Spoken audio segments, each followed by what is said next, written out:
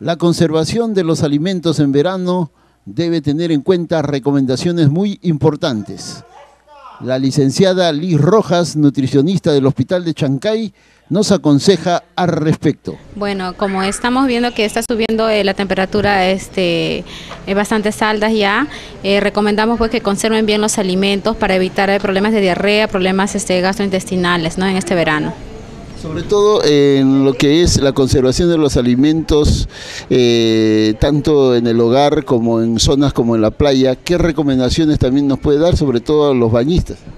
Bueno, eh, lo que es en casa, que estén refrigerado, pues este, todo, toda preparación, de preferencia que sea de consumo inmediato. ¿no? Si por algún motivo van a refrigerar, que sea pues no, no más de 6 horas, pero a temperaturas menores de 5 grados centígrados. En cuanto a preparaciones que lleven a la playa, que sean eh, que preparaciones que no incluyan cremas, eh, porque estas tienen huevos, tienen leche y se me, contaminan o proliferan, crecen los microorganismos más rápidamente ¿no? que en otros alimentos. En cuanto a quizás las comidas que debemos evitar eh, comer exageradamente, eh, ¿qué comidas, qué tipo de comidas no son recomendables en esta época de verano? Bueno, no recomendables. Eh, en realidad se puede consumir todo tipo de alimentos, pero con una conservación adecuada y sabiendo manipular muy bien. No, quizá hay que tener mucho cuidado con las cremas, como les repito. Eh, todas las cremas que contengan leche y huevos son pues este lo- los productos que rápidamente se contaminan o crecen los micro- microorganismos, como le vuelvo a repetir. Entonces hay que tener mucho cuidado. Si, por ejemplo, quieren consumir mayonesa en alguna preparación que sea envasada, no preparada en casa, ¿no?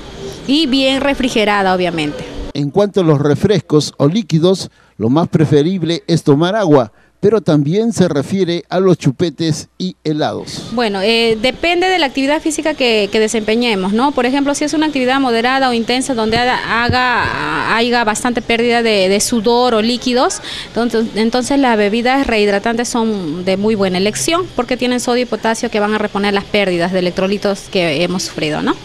Y en lo que es la visita a las playas, sabemos que muchas personas exponen a los niños, sobre todo en el consumo de chupetes, de helados.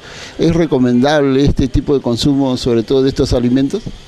Bueno, no, eh, no porque tiene bastante colorantes y no sabemos con qué tipo de agua lo han hecho, ¿no? Y si nosotros nos aseguramos que está hecho de agua hervida eh, y no tenga colorantes pues muy llamativos que son el verde, el anaranjado, que usualmente componen esos tipos de alimentos, no se recomienda. ¿No? Entonces, este, ¿por qué? Porque eh, esos colorantes son, son este, colorantes o productos químicos artificiales que este, algunos no son recomendados para la salud, ¿no? Entonces a cuidarse eh, convenientemente en el sobre todo en las comidas que tenemos que ingerir.